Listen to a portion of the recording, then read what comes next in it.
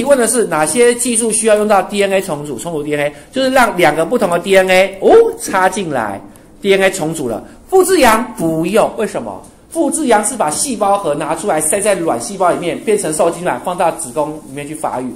它没有做 DNA 的转植，它叫做动物复制技术、克隆技术，它不是基因转殖。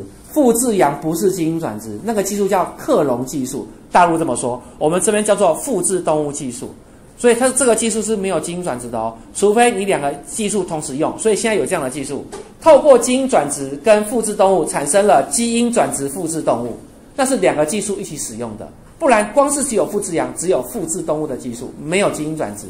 细胞体细胞细胞核塞进卵细胞，刺激它开始发育成胚胎。我没有做基因转植啊，我没有做 DNA 重组啊。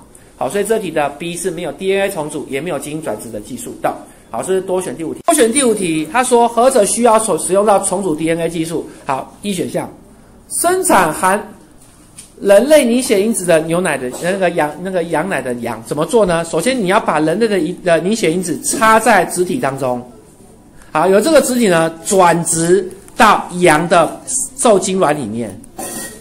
好，这边先停一下，各位，那所谓的 G DNA 重组技术在哪里呢？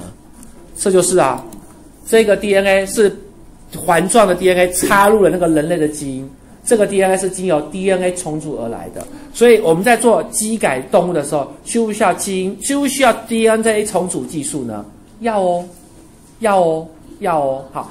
不要这样说了，光是你的染色体哦，被插入了一段 DNA，你看我的人类染色体插了一段外来的 DNA，这个 DNA 就被重组过啦。你的 DNA 的结构发生改变就叫重组啊。所以把外来的 DNA 插到你的 DNA 上，就是 DNA 重组技术。所以一选项一定是 DNA 重组技术的应用啊。所以一是有的。好，第五题一。